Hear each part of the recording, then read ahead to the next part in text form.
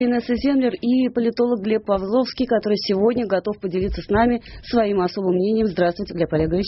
Здрасте. Ну, начнем мы с памятников.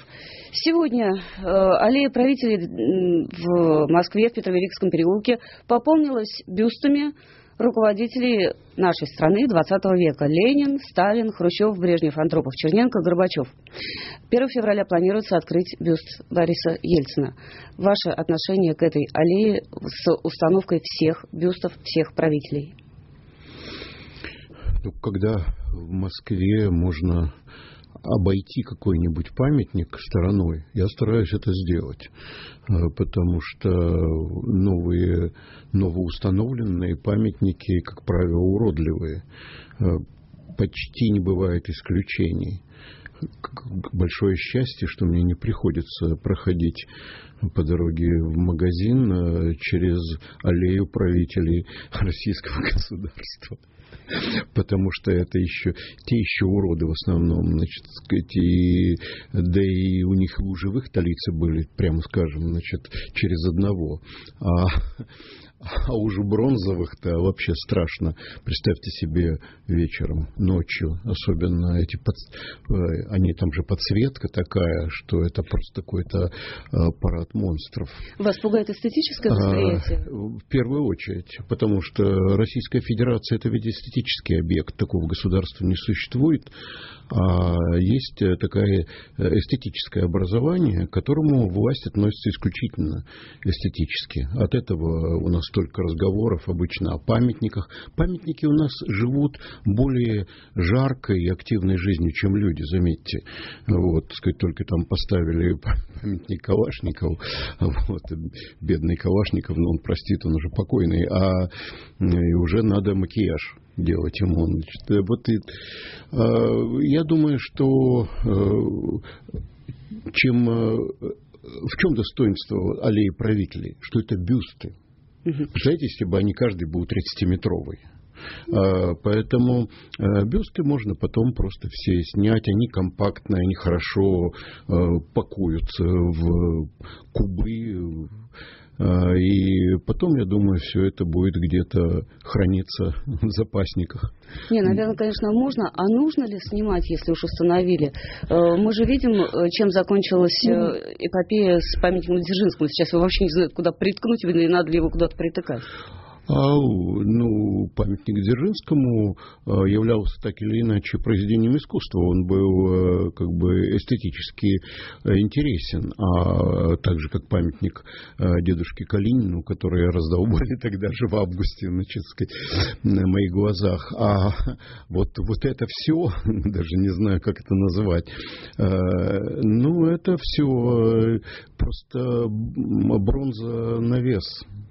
Но смотрите, там раньше на этой аллее установили и э, бюсты других э, правителей, там 33 человека, от Рюрика до Керенского. Э, может быть, есть как, какое-то здравое зерно вот в этой идее? Вот аллея, и на ней все правители. Нет. Ну, замечательно. Я думаю, что это место вот э, такому, может быть, даже зал э, в каком-то из музеев это, это очень полезно, туда будут ходить э, ученики, смотреть, им будут показывать, рассказывать и так далее. А школьники не так эстетически взыскательны, а, как мы, и они это все стерпят. А вот э, на улице это, по-моему, я видел фотографии, это довольно ужасно. Какая судьба может быть у этих бюстов еще до того, как э, или если их снесут? А как же это возбуждает? Э, каждый памятник, установленный в Москве, немедленно возбуждает какую-то группу населения, а иногда несколько. Значит, соответственно, одни приходят э, с краской, э, начинают обливать этот бедный памятник. Не дай бог, некоторые было время, да, приходили с динамитом, а другие, наоборот, с хулой всяческой. И, ну, это движуха. Нам не хватает движухи? Да, нам не хватает движухи. Ой, да ладно. Конечно, не хватает. Конечно, не хватает движухи. И э, мы вообще застоялись э, довольно надо больше двигаться, а то мы сидим вот э, в Фейсбуке. И угу. Ну хорошо, допустим, придут те, кто не любит ну, Сталина, или те, кто не любит точнее не или, а и, те, кто не любит Ельцина, и в результате мы получим э, облитые разными красками бюсты правителей? Ну, Такие радужные аллеи. А представляете, во-первых, сколько э, хорошо оплачиваемой работы сотрудникам мэрии постоянный причем. Вот, это важно, постоянная работа. Во-вторых, э, повторяю, весело весело, и всегда какая-то группа населения должна чувствовать себя оскорбленной, э, потому что иначе не будет э, конфликта, и будет, спектакль будет скучен. Ну, один спектакль у нас разворачивается прямо на глазах. Вы уже упомянули памятник Калашникова, который уже нуждается в некой ретуши и э, рихтовке. Э, вместо автомата Калашникова на плите, на постаменте этого памятника изображен чертеж винтовки конструктора Хуга Шмайсера. Скульптор Салават Черваков, который, собственно, и создал этот памятник, уже признал свою ошибку, и Российское военно-историческое общество настояло на том, чтобы ошибка была исправлена. Как, э, насколько на ваш взгляд, эта ситуация выглядит адекватно или абсурдно на, напротив? Она выглядит э, реалистически достоверной. Это правда жанра. Мы ведь все э, постепенно становимся невеждами и уже смутно вспоминаем, э, что там было на самом деле. Ничего удивительного, если бы полотно упало и на постаменте было написано купцу Калашникову. Значит, это все теперь возможно. Понимаете, Шмайсер, э, в конце концов, это хорошо известное, э, в том числе и Калашникову, э, вооружение, и, так сказать, вооружение врага, и здесь есть какая-то даже логика. Мне жаль, что это будут стесывать. Потому что здесь есть как бы логика. Надо было изобразить, значит, можно было изобразить на этой стеле Шпейера, значит, с его, значит, чертежами и так далее, и Калашникова, который держит автомат как скрипку. Здесь все что-то было, что-то было бы такое, и потом что-то было бы опять-таки эстетически совершенное. Смотрите, в Берлине устанавливали после войны памятник солдату-победителю, ему не дали в объятии автомат, пушку э, или самолет. А он там держит немецкую девочку в руках, значит, да, и, э, и большой меч, значит, такой условный чисто. А теперь вот так же, как солдат-победитель держал девочку, Калашников держит автомат. Э, это говорит просто о вырождении, нашем э, эмоциональном вырождении, в первую очередь эмоциональном. Мы теряем ощущение неадекватности. Э, неадекватности? А, теряем ощущение неадекватности да, среды, в которой живем.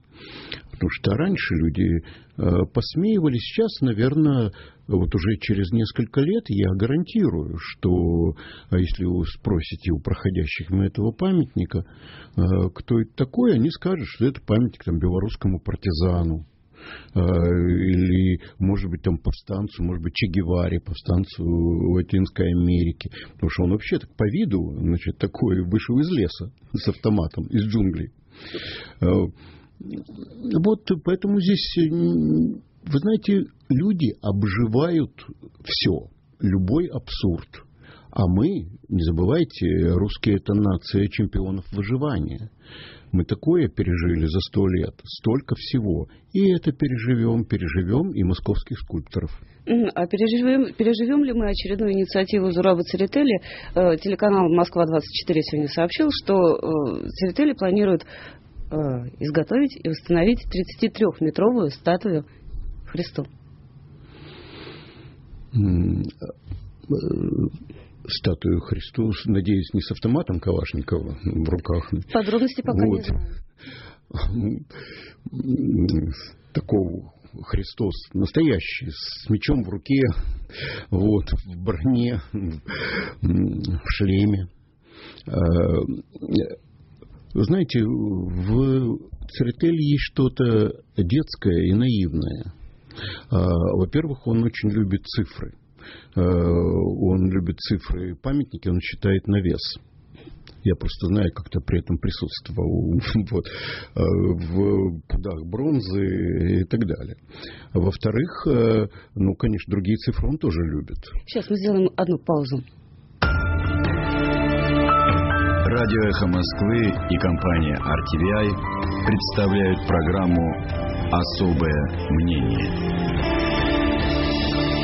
Политолог Глеб Павловский в студии я, Землер. Мы продолжаем разговор о э, пристрастии Зураба Церетели к цифрам.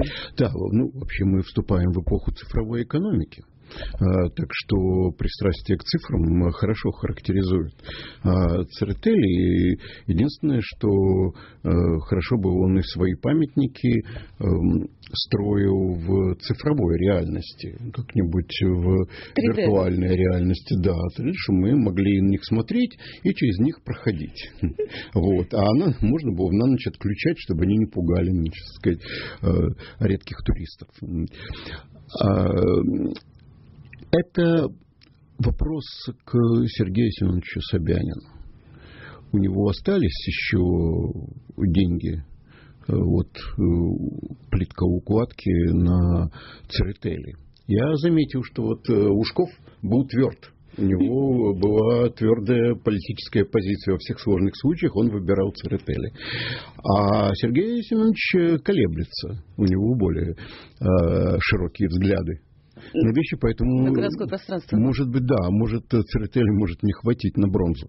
То есть э, посмотрим, чем закончится этот тест для мэра Сергея Собянина.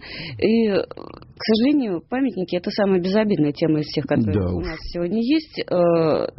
Э, нападение на одного из активных сторонников Алексея Навального Николая Ляскина. Подозреваемый отпущен под подписку о невыезде. Сам, сам, Ляск, э, сам он заявил, что нападение это была инсценировка нападения, и совершено оно по заказу самого Ляскина. Как вам вот эта э, конструкция видится? Ну, это такая прогрессивная, вообще-то говоря, полицейская конструкция новая. Мы не сталкивались до сих пор с этим. А, теперь э, каждый очередной конфликт может быть э, повернут против жертвы.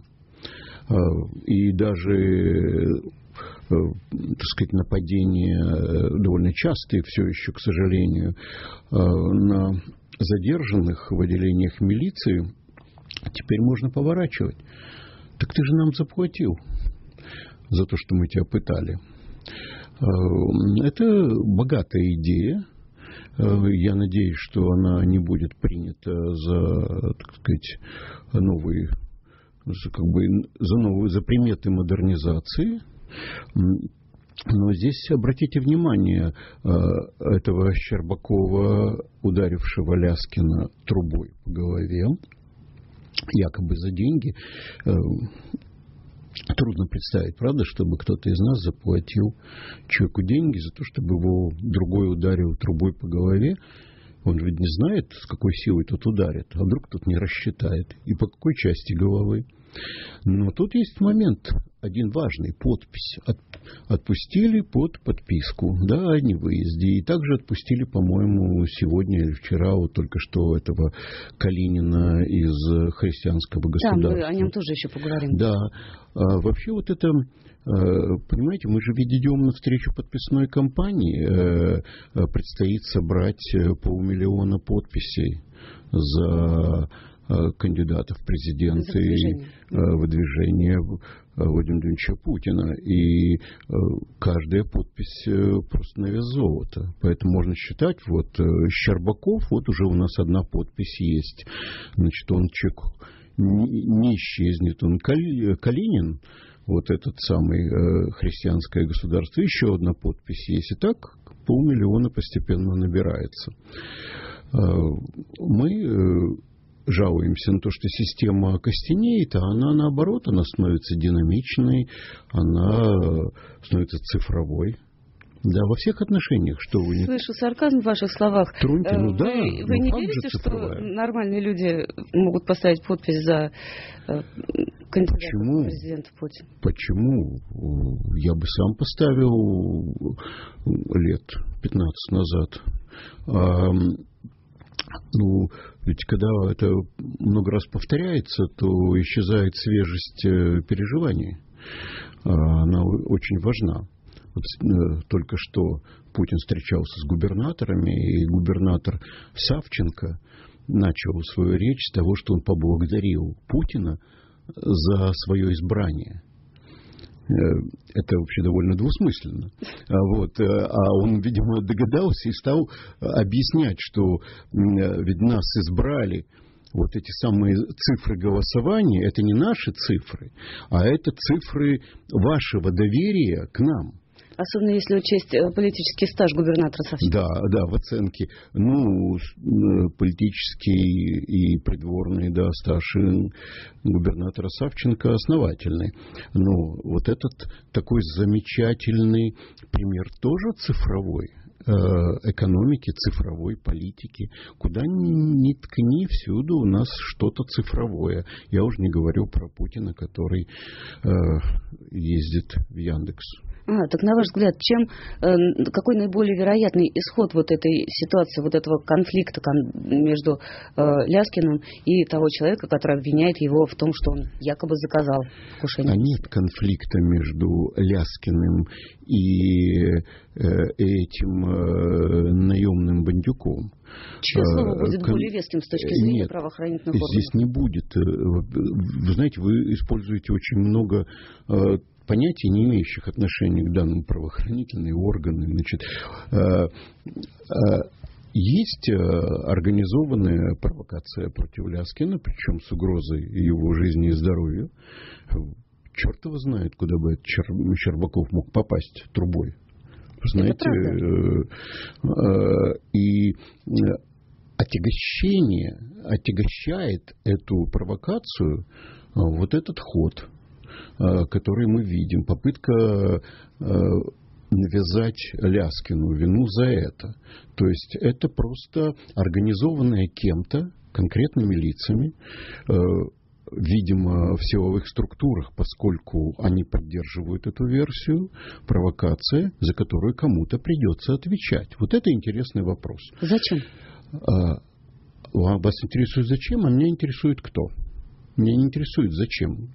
Зачем какая-то сволочь заказывает такие вещи. Меня интересует, кто эта сволочь.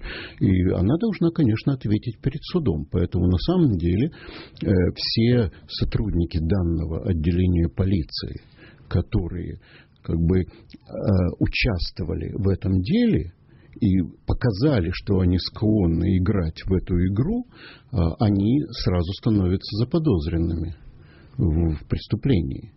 Вот в чем вопрос, а не вопрос в отношениях Ляскина с каким-то наемным погромщиком. Хорошо, тогда, э, опять же, к уже упомянутому.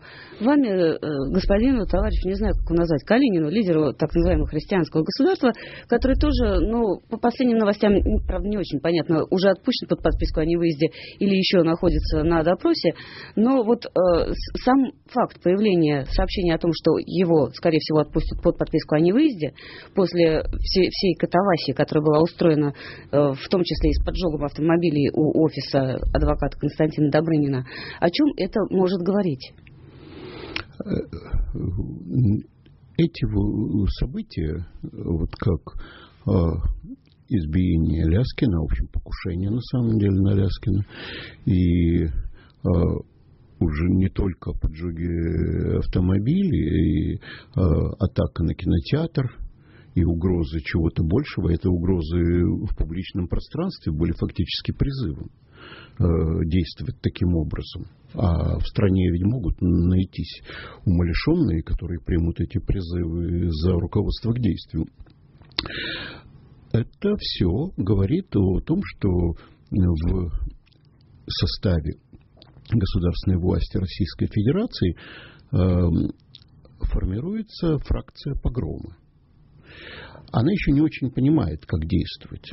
Она не очень понимает, э, как действовать так, чтобы не, всех не пересажали достаточно быстро. Но они собираются э, действовать этими инструментами. Э, обрезок трубы, нож, поджог, бензин и тому подобные вещи. Пока телевидение учит нас, что ничего страшнее э, либералов с Фейсбуком не существует.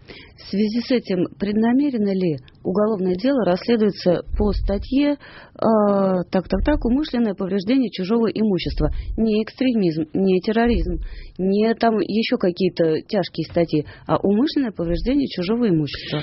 Опять, Автомобили сгорели. Опять-таки, здесь тоже я бы предложил применить тот же ход мысли.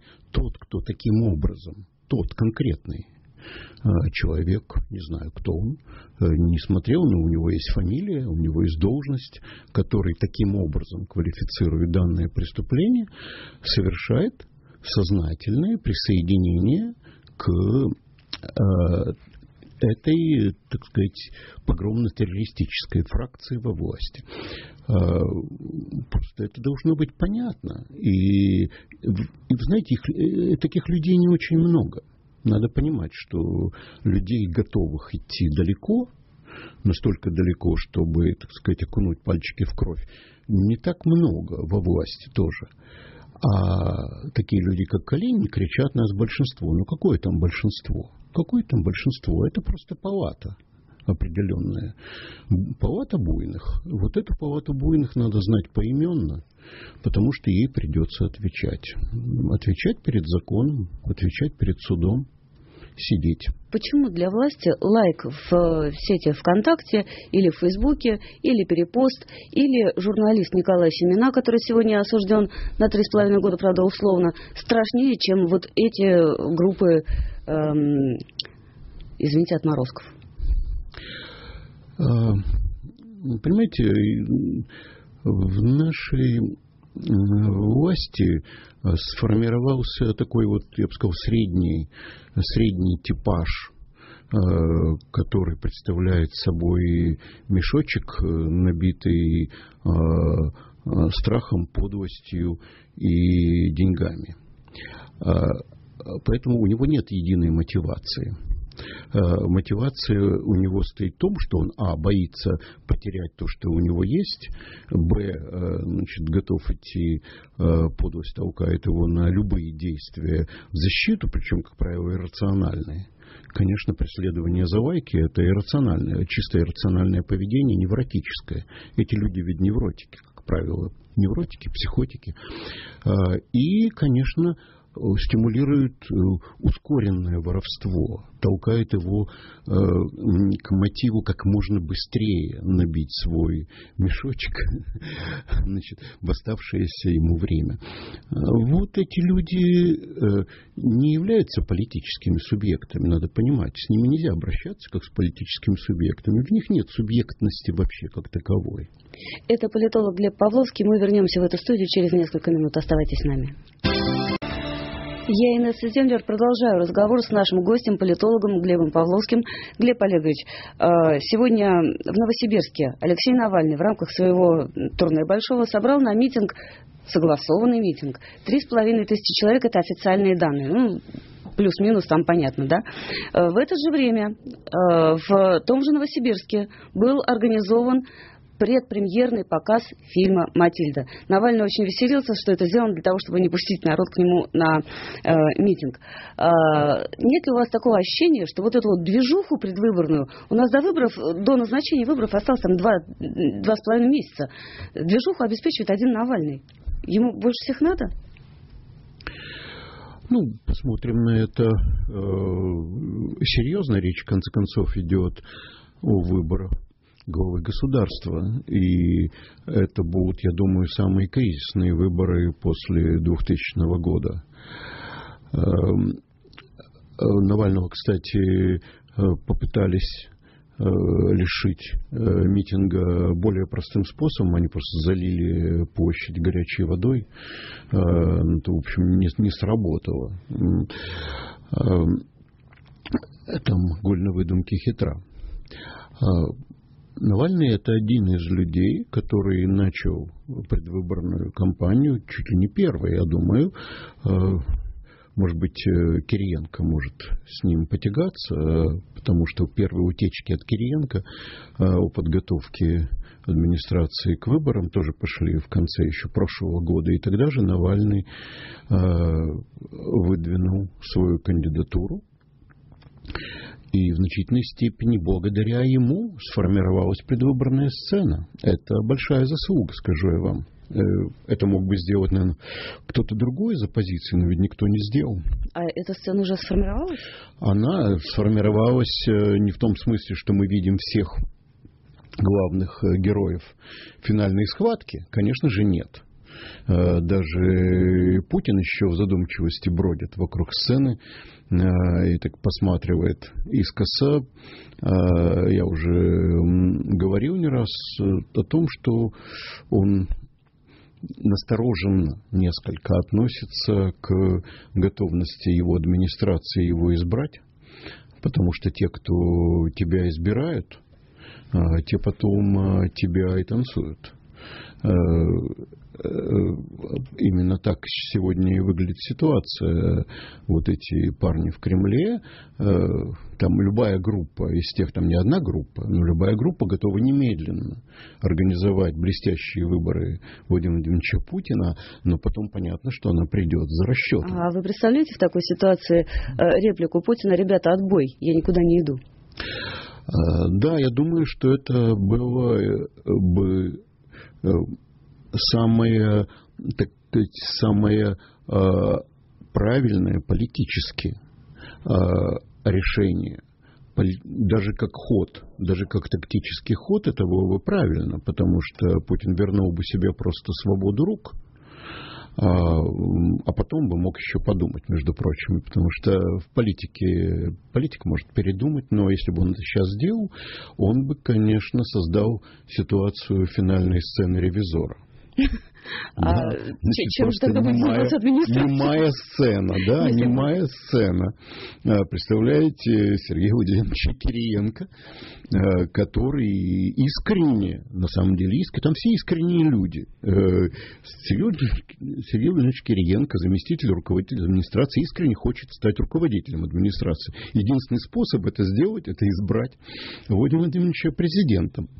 Если этой работы нет, то, собственно говоря, эту работу может выполнить э, ту остальную оставшуюся работу просто его секретарша. Да, если этой работы нет, то тогда зачем нужен Сергей Владимирович Кириенко? Ну да, вот, вот э, в этом-то и проблема. Тварь я дрожащие или право имею. Что-то в, в этой... Э, или в право имею на Путина. В этом вот построении а, все это выглядит какой-то ненужной историей самому Путину. Об этом очень многие писали, и хорошо писал и а, Винокурова, и а, о том, что, простите, а кто-то может объяснить, зачем Путину идти на четвертый срок?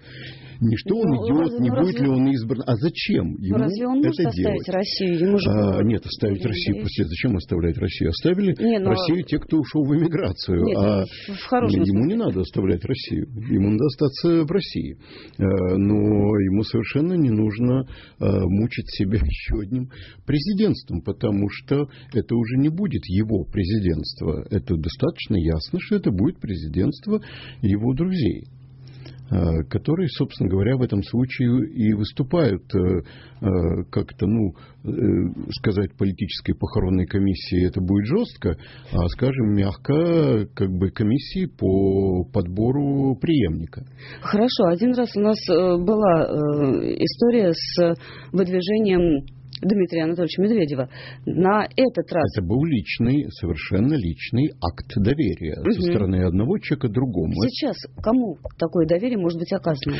А, Если не Путин, то кто? А, нет, э, не может быть преемник э, Путина в его нынешнем наборе ненужных на самом деле для президента полномочий, раздутых э, преемник человека, который, в общем, поглотил все, возможности, все возможные прерогативы и не может теперь их использовать. Может, Выглядит все более слабым. Э, поэтому нужен э, просто кандидат, идущий на выборы и выигрывающий их. Может, еще и поэтому Путин не может сказать, ребята, отбой? Не надо говорить про живого э, человека в здравом разуме, что он не может. Он может, он э, нерешителен, он не хочет, может быть, или не решил, что ему делать. Вообще иногда Путин выглядит, э, что как ребенок, которого ведут в Дарвиновский музей, как в Россию его водят, значит, сказать, или в Яндекс. Вот смотрите, вот Яндекс, вот робот. Алиса. А вот, значит, вот тиранозавр Чучело, а вот Чучело губернатора Меркушкина. Значит, то есть э, он смотрит на все с диковатым каким-то видом, да, думает и прочитывается, боже, кто все эти люди, зачем это все. Э, поэтому, э, если бы он хотел вернуть себе силу, силу, у него есть сила президента, сила лидера, реально, во всяком случае, еще в недавнем прошлом, Э, он, конечно, бы отказался идти на выборы. Таким образом, и посмотрел бы, что получилось, и помог организации конкурентных выборов, на которых э, нет сомнений, что победил бы кандидат от власти, но их было бы несколько. Э, это не было бы возмутительная процедура указания пальцем на какого-то человека, вот выбирайте этого. Э, это просто плохое обращение с нацией. Так с русскими людьми обращаться нехорошо. Эм, а конкурентные выборы, э, на которых вышел бы и Навальный, э, и это тоже в силах, между прочим, Путина это сделать, потому что Путин может амнистировать Навального, это входит в его в набор его президентских прерогатив. Да, э, тем самым снять судимость. Вот, и может, который, то есть проблему... поправку в закон? Э, нет, просто он может снять судимость. Не, не нужно поправку. Конституция там все объясняет, что есть. Но чтобы снять какие-то формальные преграды, потому что там же господин там Зорькин... По... Там не сложная история. Навального... Зорькин поторопился э, вынести глупое решение. А все равно это все снимается одним росчерком пера. Амнистии конкретно. Проблема в том, что там после снятия человеку. судимости еще действует карантин по действующему законодательству. Вот в чем а. проблема. Нет, там нету э, проблем, которые не может снять президент России Путин Владимир это Владимирович. Разговор, да. Вот и, э, конечно, это не привело бы к победе кандидата Навального. А, но это привело бы к расчистке атмосферы и к тому, что у нас во главе страны оказался бы человек, которому действительно а, оказали бы доверие. Может быть, хорошо, может, плохо, может, ошибочно, может, нет, не знаю. Да, но пока мы видим э, некое искусственное подогревание интереса и температуры вот этих предстоящих выборов, например, вбросом информации о том, что Ксения Собчак может выдвинуть свою кандидатуру. Не, ну это же прогрев постели, поймите. Это э, ситуация, в которой эти бедные люди, они же чиновники, поймите, им страшно. Им страшно, у них нет определенности. Они бедные, да, они бедные, они переживают, мучаются. Нет определенности. Что они делают? Они периодически то тот, то другой прыгает э, в эту предвыборную постель и оттуда кричит, кричит, здесь будет, будет президент Путин. Будет. Он просто еще, подождите еще немножко. Они, помните, весной говорили в июне, потом стали говорить, значит, в августе-сентябре. Теперь, потом сказали в октябре, сейчас уже говорят в ноябре. Э, значит, он скажет. То есть им надо что-то говорить э, потому что иначе непонятно, зачем они в этом месте. Э, постель прогрета. Да, а э, Путина в ней нет. Поэтому, ну, не знаю, там может быть Ксения Собчак, и вообще можно написать, здесь, здесь могли бы быть вы. Рекламное место. А, и наверное, последний вопрос на сегодня. Да. На ваш взгляд, все-таки Путин уже принял для себя решение или еще не принял его? Я бы хотел думать, что он не принял еще этого решения, просто потому что я э, грешен, э, отношусь к нему хорошо. А для меня это человек, который застрял он застрял, он далеко зашел и застрял в том месте, значит, и уже ни вперед, ни назад дернуться нельзя, а вокруг уже собралась жадная толпа, описанная в стихотворении Лермонтова, за которое я тут уехал на Кавказ, тот самый, вот, и ждет с удовольствием, значит, сказать, деления раздела наследства. Вот ему это очень неприятная, уверяю вас, ситуация. Поэтому я хотел бы думать, что он еще не решил. Ну что ж, посмотрим. Скоро узнаем ответ на этот вопрос. Глеб Павловский был в этой студии. Меня зовут Инесса Землер. Всего доброго. Эхо твоего города вместе с радио «Эхо Москвы».